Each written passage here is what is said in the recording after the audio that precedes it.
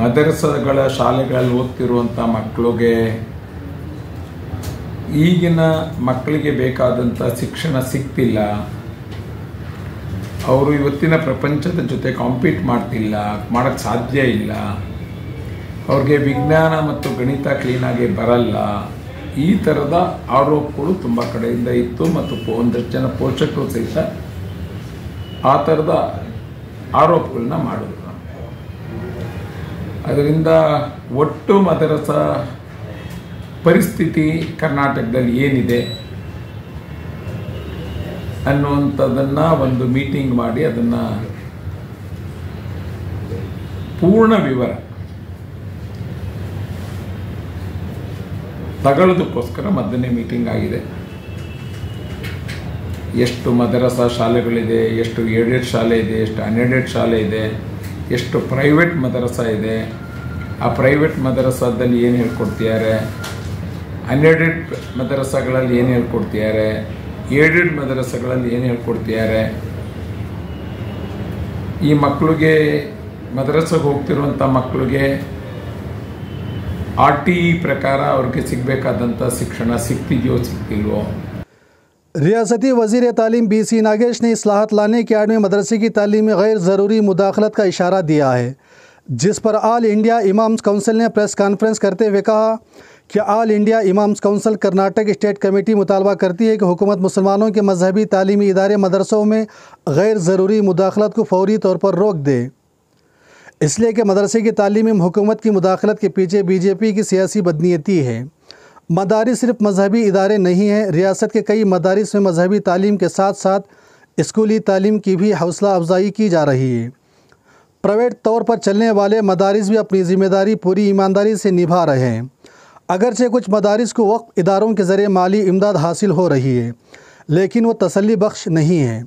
जब असल सूरत हाल ऐसी है तो बीजेपी हुकूमत की मदारस के तालीमी निज़ाम में गैर ज़रूरी मुदाखलत आइन के आर्टिकल 25, 29, 30 में शहरीों को मजहबी आज़ादी पर अमल करने और अक़लीतों को मजहबी तालीमी इदारे कायम करने की ज़मानत दिए गए बुनियादी हकूक़ की खिलाफ वर्जी है।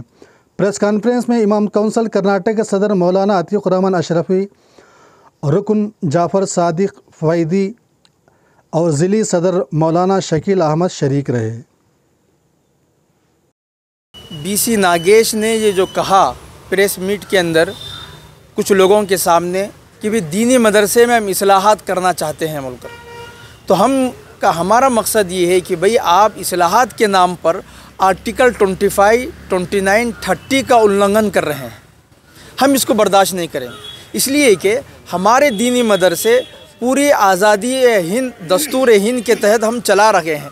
तो उसमें आप मुदाखलत मत कीजिए। बस हमारा इतना ही है। अगर आप मुदाखलत करते हैं तो पूरी मुस्लिम माशरा मुस्लिम कौम और यहाँ के रहने वाले लोग कि अपने प्राइवेट स्कूल इदारे चलाने वाले, वो सड़कों पर आ जाएँगे।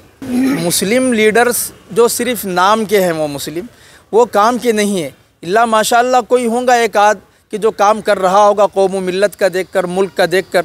लेकिन हम यही उनसे ये कहेंगे कि ऐसे इशूज़ जो इस्लाम या किसी भी मज़हब के रिलीजियस जो इश्यूज़ होते हैं, वो गवर्नमेंट को उठाने नहीं देना चाहिए।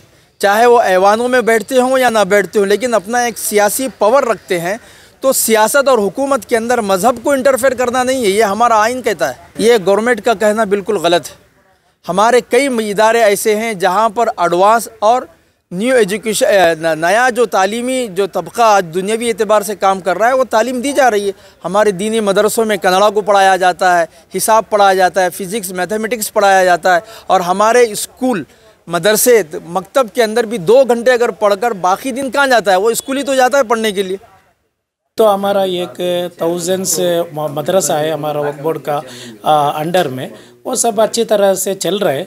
वो भी मॉडिफिकेशन के लिए मॉडर्नाइजेशन के लिए पैसा भी आ रहे गवर्नमेंट से। अभी भी ज़्यादा। मुझे लग रहा है वो एजुकेशन मिनिस्टर वो मॉडर्नाइजेशन का पैसा देने का वो सब डिस्कस करने को एक ये लिए करके। अगर वो हुआ तो बहुत अच्छा है वो, मैं वो स्वागत भी कर नहीं, कौन सा मदरसा मुझे मालूम नहीं है, वैसा कौन सा भी मदरसा, ऐसा गवर्नमेंट ऑफिशियल को उधर, ये नहीं एंटर नहीं करते कर हम ना एक लिख राइटिंग में दिए तो नहीं तो कौन सा भी कंप्लेंट आए तो वो मदरसा का खिलाफ हमें एक्शन लेंगे।